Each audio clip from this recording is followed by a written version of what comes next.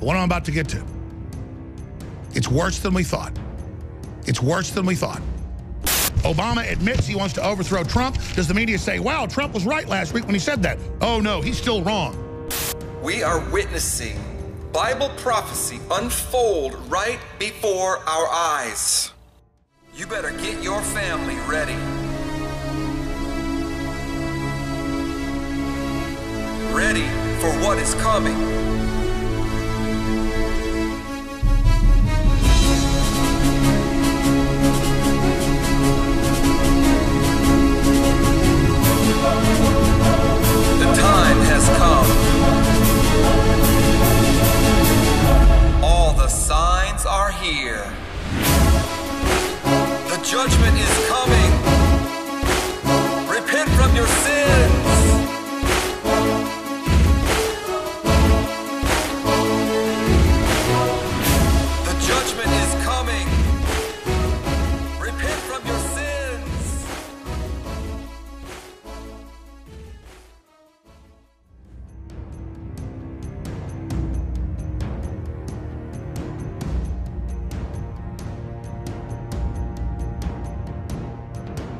Battle between good and evil right now, the forces that are coming against the freedom and liberty and constitution of the world, the Christian foundation that's being attacked, and the delusion and the deception that's coming in is amazing to document and to analyze the stuff that's going on. This is book of Revelation, end times, last generation stuff we are witnessing right now. I mean, we are literally witnessing the four apocalyptic horsemen coming in.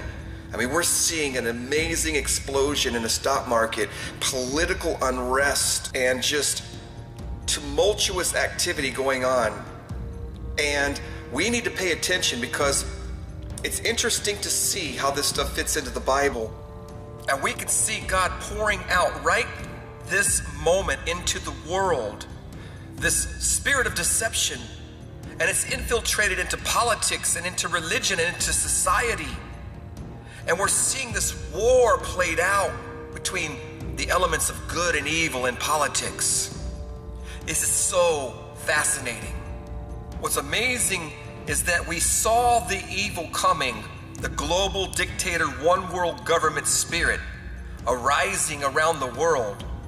And what's fascinating and mysterious is God has thrown us a curveball with this pseudo Christian movement through Donald Trump. And what I see is a deception. Because it was easy to identify the bad guys.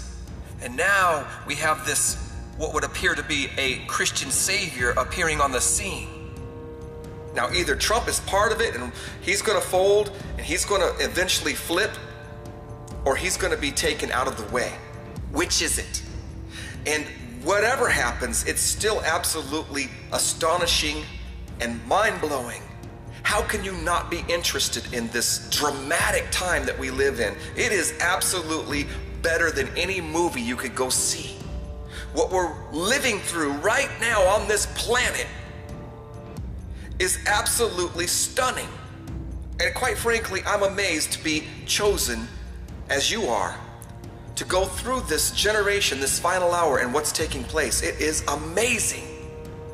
So, and what's more amazing about it is that we have the light of God and we can actually see not only the surface levels of what's going on, but we see penetrating through and behind the scenes on a spiritual level, on a biblical level, we can decipher these components and pieces and understand even more than the world. We understand more than most people, not me personally, but those who study the Bible and eschatology and the signs and the prophecies. We have a higher understanding of what's going on here, which makes it even more fascinating. I mean the political systems of control and deceit and fraud and crony capitalism that are designed to dumb the population down and transfer wealth to the elites and just burn and destroy wealth to consolidate control is the true public admitted enemy. And they've worked so hard to hide this thing, and we don't need to sit here and let them dominate the future. The globalists are openly manipulating our DNA. They're, they're giving us cancer. They're poisoning us. They write books about it. They write documents about it. They're super uncool. And I feverishly want to beat them. I want to see them defeated. What he is describing is the forces of the rider on the white horse who has come to conquer the globe. And he believes that through humanism and the spirit of freedom, the spirit of humanity, that we can stop this from happening. And he believes Donald Trump is going to be the facilitator of this. And I am telling you that we cannot stop this global tyranny and dictatorship, the New World Order. We cannot stop this judgment of God and this prophecy that's coming. That we together will burn this thing down. That we together will burn this thing down. We have got some really bombshell news. And if President Trump doesn't do something about this, and if Sessions doesn't do something about this right now, for the first time, I am going to start getting very, very critical of Trump. And uh, I don't know what I'm going to do because he's so good on trying to get the economy going, on trying to get small business loans going, on getting small businesses to invest in the stock market to drive it up now almost $3 trillion, in exposing political correctness, in defending Christianity, in fighting radical Islam, uh, in promoting Americana in signing an executive order to not fine families $5,000 for not having Obamacare. I mean, so many good things. Turning all our coal power plants back on. Letting our coal miners get back to work. We have the best, cleanest coal in the world. He, he's doing so much good when it comes to actually serving the people and dismantling globalism and transferring industry and jobs and humanity back to the people, not handouts to control them. But then he won't do anything other than tweet. And they, the media bullies that and acts like it's wrong that he fight back against lies and act like it's weird when he exposes them. Okay, I want to focus on, I want the elect, our group, the saints of God, those that are in Christ to pay attention to what we're going to be revealing and what we're going to be uh, paying attention to ourselves. And that is the struggle between the good and the bad in pol politics because we're going to see a futile attempt of the independence and the spirit of America to revive itself. And we're seeing that. We're seeing a global backlash against the New World Order. And we are seeing this phenomena, and a lot of people are being uh, taken in by it, surprised by it, and deceived by it. But God has his mysterious ways of working out his good purposes. So we got this battle between what looks like this Christian righteousness side and the demonic New World Order side. But you can't be deceived by this pseudo religious Christian movement.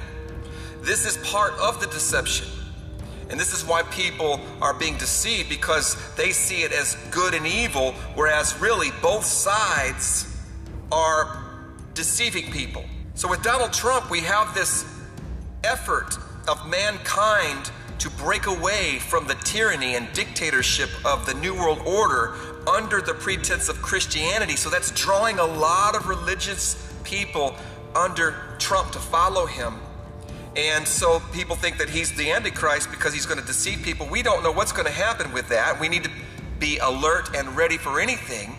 But then we see Obama behind the scenes, who hasn't left Washington, D.C. yet, still pulling strings and political clout and muscle to bring down Donald Trump. So this is a very wild war that we see going on. We're like, is Donald Trump good or is he bad? And so we're still left with mystery involved with all this. So we're seeing this battle between these two sides. And many people don't understand that both sides are wrong. But God, in His divine providence, the Bible says He has in His hand, He has the deceiver and the deceived. And He will use both of these things for his purposes. And only the elect of God have any inclination or any insight into what's going on. So I want us to just sit back and watch this and fit it into Bible prophecy and understand that this is just a stepping stone stage to what's really coming. What I'm about to get to, it's worse than we thought. We knew the Justice Department got caught in Florida with Justice Department high-level operatives in emails on the ground trying to cause riots and trying to stir up the Trayvon Martin tragedy to create the whole racial division that we now saw peak in the last year. But ladies and gentlemen, Fox News is reporting and they've got the documents. This is so illegal.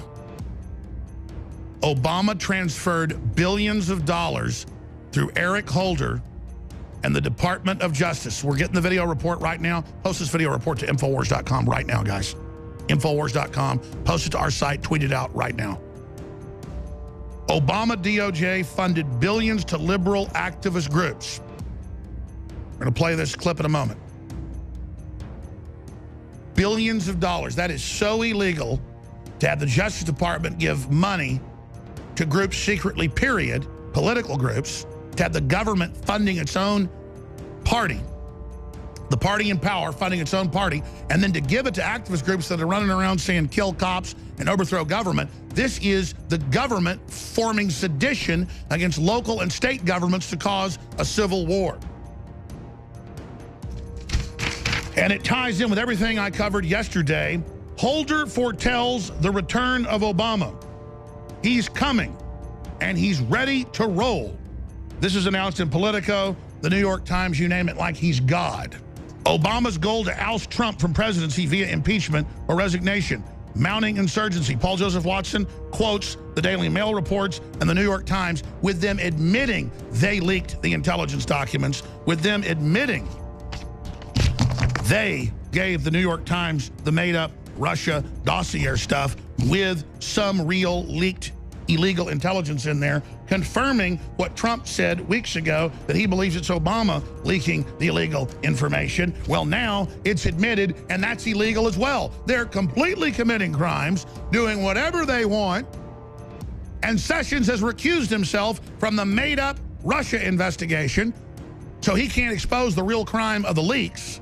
And a prosecutor appointed by Obama, who's anti-Trump, is going to lead it now. Can you believe that?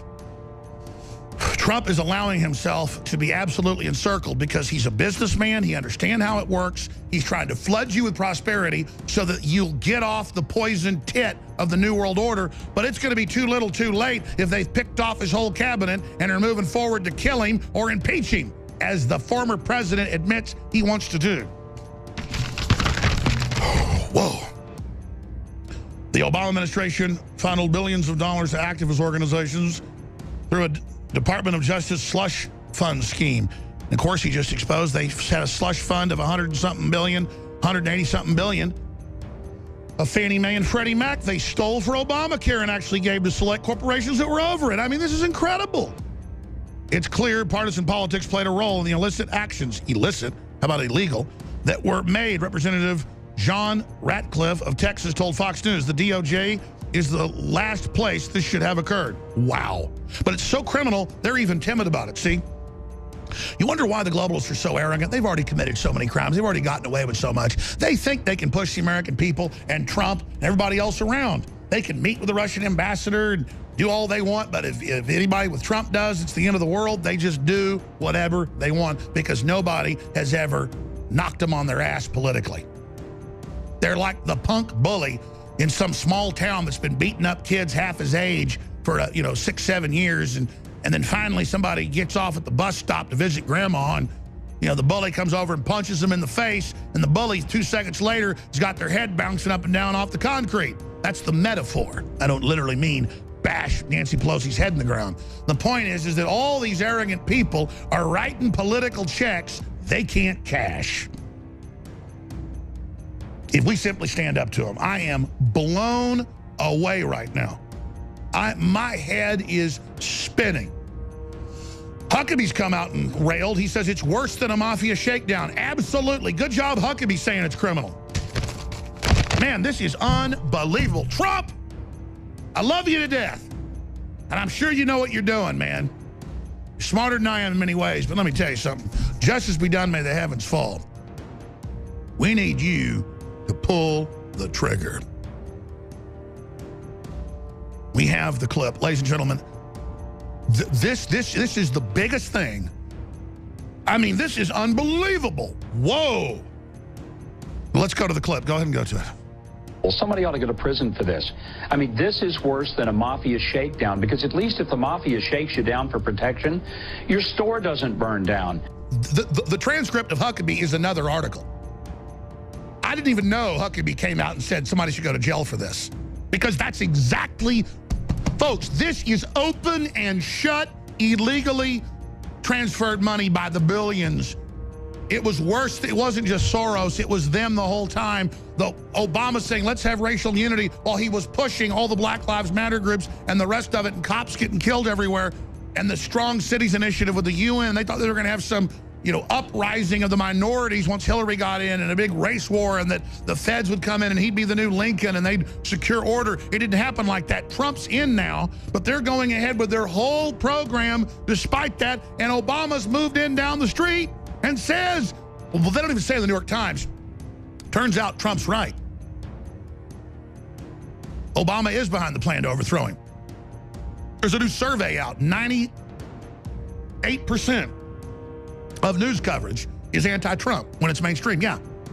These people think we're idiots.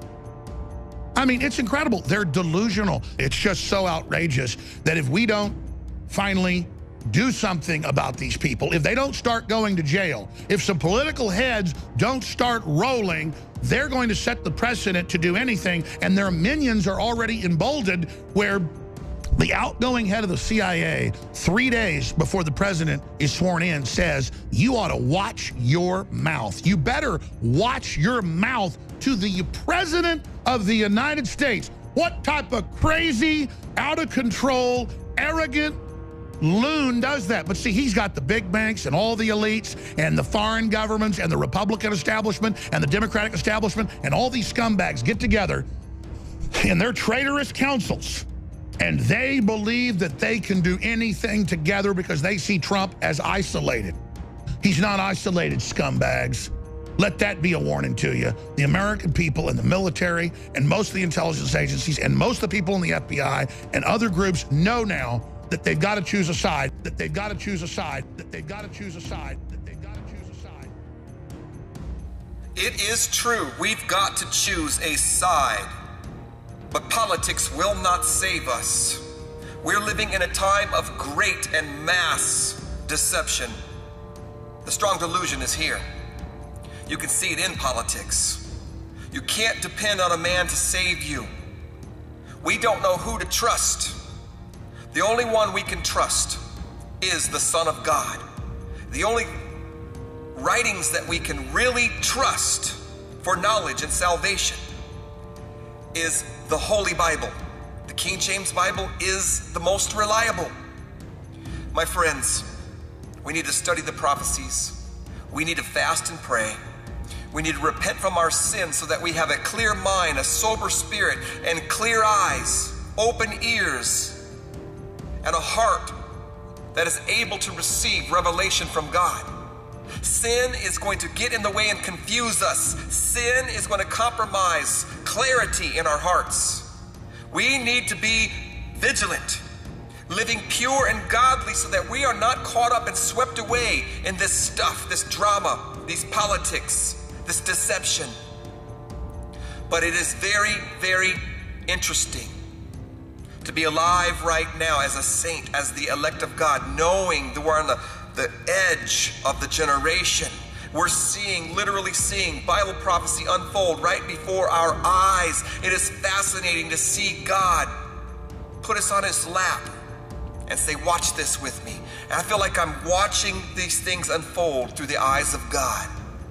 It is amazing, brothers and sisters.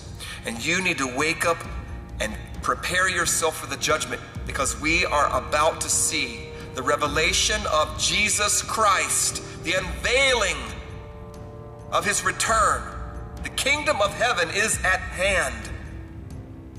Are you ready to stand before the Son of God and give an account? Get ready. Your time is running out.